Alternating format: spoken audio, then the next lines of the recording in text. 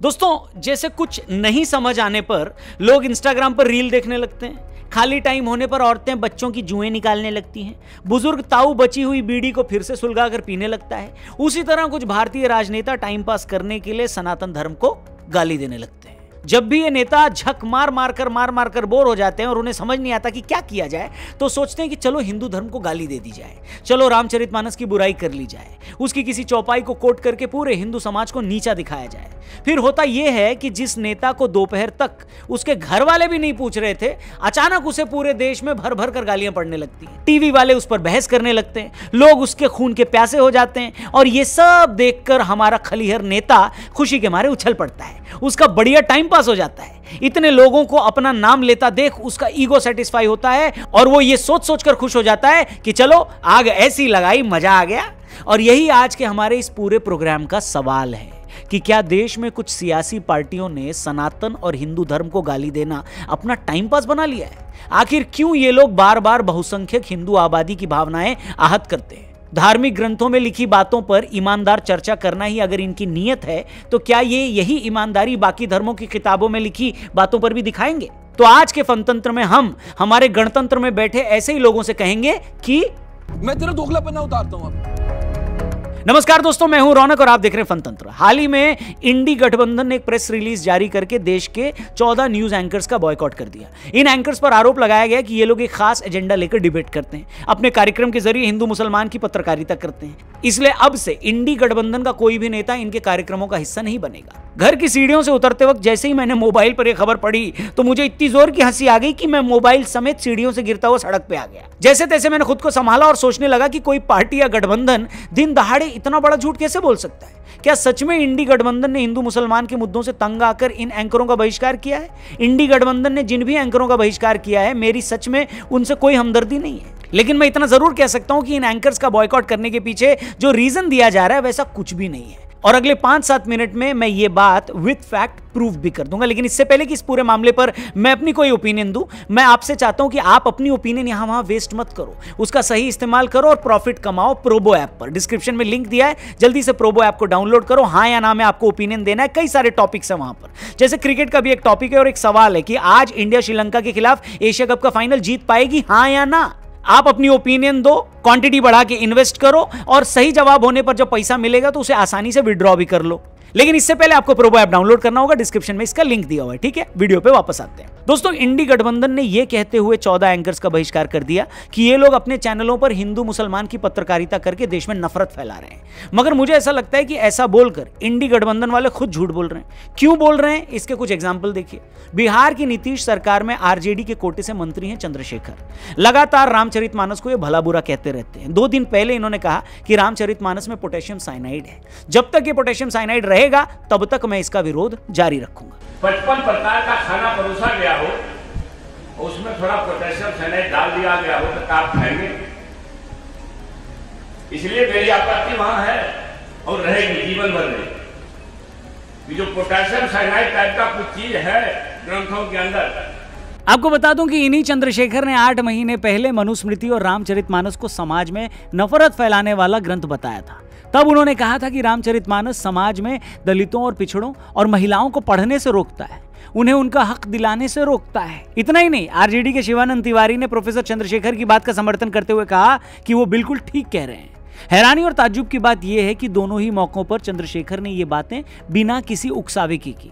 ऐसा लगता है कि जब भी उनको मौका मिलता है, वो रामचरित मानस के बहाने खास जाति के लोगों को नीचा दिखाना चाहते हैं। और इसी बहाने से वो निचली जाति के लोगों को ये एहसास दिलाना चाहते हैं कि कैसे इन लोगों ने तुम्हारे साथ ज्यादती की। शिक्षा मंत्री चंद्रशेखर ने जाति व्यवस्था पर हमला करते हुए रामचरित मानस और मनुस्मृति को अभिशाप बता दिया।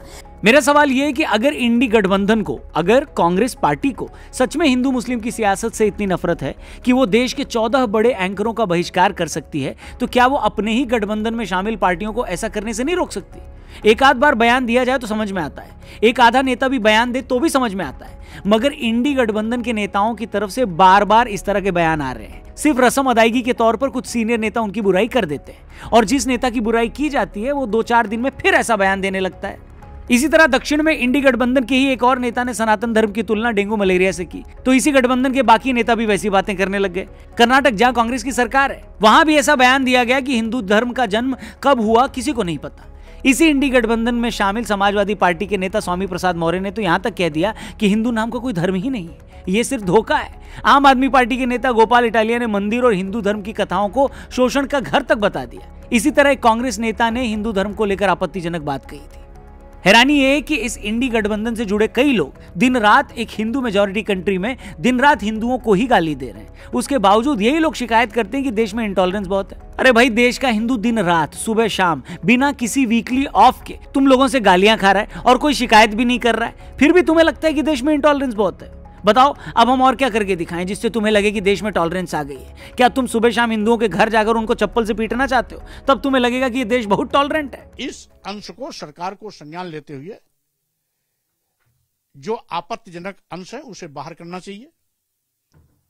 या इस पूरी पुस्तक को बैन कर देना चाहिए। अब मेरा सवाल ये कि एक तरफ़ राहुल गांधी कहते हैं कि मैं नफरत के बाज़ार में मोहब्बत की दुकान खोलकर बैठा हूँ। इंडी गठबंधन सरकार पर धर्म की राजनीति करने का आरोप लगाता है। यही इंडी गठबंधन सांप्रदायिक पत्रकारिता करने की बात बोलकर एक दर्जन एंकर्स का बहिष्कार कर देता है। और असल में उसी गठबंधन के एक के बाद एक नेता लगातार सनातन और हिंदू धर्म का मखौल उड़ा रहे हैं। इस धर्म से जुड़े लोगों के सेंटिमेंट्स हर्ट कर रहे हैं। सवाल यह है कि जिस गठबंधन को सांप्रदायिक राजनीति से इतनी चिड़ है, उसी इंडी गठबंधन के लोग बार बार एक धर्म को टारगेट क्यों कर रहे हैं? अगर एंकर्स को लेकर इनका विरोध इतना ही सच्चा है तो ये लोग क्यों सबसे पहले ऐसी बयानबाजी करने वाले नेताओं को अपनी पार्टी से क्यों नहीं निकालते? क्यों इनके खिलाफ कोई एक्शन नहीं लेते? क्यों इन्हें कोई नोटिस तक नहीं दिया जाता? वजह बिल्कुल साफ़ है। चाहे स्वामी प्रसाद मौर्य हो या चंद्रशेखर, उनकी पार्टी को भी अच्छे से पता है कि ये लोग जो भी बोल रहे हैं, उससे एक खास जाति का वोटर खुश होगा। यही वजह है कि ये लोग ऊपरी तौर पर इस तरह के लोगों का विरोध करते हैं। मगर पर्दे के पीछे ऐसे लोगों को इस तरह की बयानबाजी करने के लिए पार्टी की तरफ़ से पूरा आशीर्वाद मिलता रहता है। पर क्वेश्चन ये है कि चंद्रशेखर जैसे नेता हो या स्वामी प्रसाद जैसे, जब भी ये लोग रामचरित मानस या किसी और हिंदू धर्म ग्रंथ में से कोई चौपाई या उसमें लिखी बात को सामने लाकर उसका विरोध करते हैं तो इनका मकसद क्या है? क्या ऐसा करके ये लोग ये बताना चाहते हैं कि धार्मिक ग्रंथों में सालों पहले अगर कुछ भी गलत लिखा गया तो उसे ठीक करना चाहिए, उस पर चर्चा होनी चाहिए? अब मेरा क्वेश्चन ये है कि ऐसी चर्चा ये सिर्फ़ हिंदू धार्मिक ग्रंथों को लेकर करना चाहते हैं या दूसरी धार्मिक किताबों पर भी ये बात करेंगे? मेरा मानना है नेता का तो कोई धर्म नहीं होता। वो तो हर धर्म को मानने वाली जनता का लीडर होता है। इस लिहाज से तो उन्हें बाकी धार्मिक किताबों में मौजूद विवादित बातों पर भी बोलना चाहिए। मगर मैंने तो कभी नहीं सुना कि चंद्रशेखर या स्वामी प्रसाद मौर्य ने बाकी धर्मों में लिखी बातों पर कोई लॉजिकल बात की हो या उसे दकियानुसी बताया हो। या किसी ने यह भी बोलने की हिम्मत दिखाई हो कि फलाने धर्म में लिखी ये बातें आज के टाइम में इरेलीवेंट है। या उस धर्म में बताई ये बातें आदमी और औरत में फ़र्क करती हैं। अगर इन नेताओं का सच में मकसद धार्मिक किताबों में सुधार लाकर समाज में सुधार लाना है तो फिर ये सुधार तो हर धार्मिक किताब में आना चाहिए, नहीं आना चाहिए। मगर नहीं, पता नहीं क्यों इन्हें लगता है कि इनको सारा समाज सुधार सिर्फ़ एक ही धर्म के खिलाफ बोलकर लाना है। अरे भाई एक बार बाकी धर्मों को भी अपना ज्ञान बांट कर देख लो। फिर देखो तुम्हें असली ज्ञान मिलता है। लेकिन मुझे पता है आप लोग बिल्कुल ऐसा नहीं करोगे क्योंकि आपको अपनी राजनीति भी प्यारी है और अपनी जान भी। आपको न सनातन धर्म से मतलब है और न ही रामचरित मानस से। आपको तो बस उसे गाली देकर दूसरी जातियों और धर्मों को खुश करना है क्योंकि इन नेताओं को लगता है कि ये जितना एंटी हिंदू दिखेंगे जितने सनातन विरोधी लगेंगे इनका वोट बैंक उतना ही खुश होगा। सो ऐसी कम्युनिटीज ऐसे लोग और उनकी सड़ी हुई anti Hindu anti Sanatani ideologies ये कब तक ठहरने वाली हैं? वेल well, लंबी ठहरने वाली नहीं है because good news is that कि आज हमारे सनातनी लोग जग रहे हैं the Hindus are waking up और अगर सच में ऐसा है, जो कि है भी तो सनातन को गाली देने वाली ये नेता एक मायने में उन एंकर से कहीं बदतर हैं, जिनका ये विरोध कर रहे हैं। अगर एंकर हिंदू मुस्लिम की चर्चा करके टीआरपी लाना चाहते हैं तो आप लोग सनातन को गाली देकर वोट लेना चाह रहे हो।